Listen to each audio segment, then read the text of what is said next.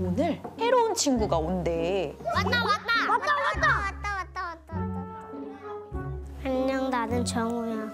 난 여섯 살이고.